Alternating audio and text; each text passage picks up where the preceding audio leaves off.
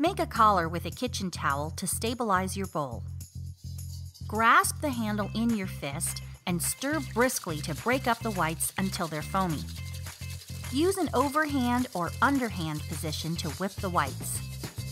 Switching between them helps keep your arm from getting too tired too quickly. When the whites are foamy, begin using the rolling motion to incorporate as much air into the whites as possible. Soft peaks look like this. Stiff peaks look like that.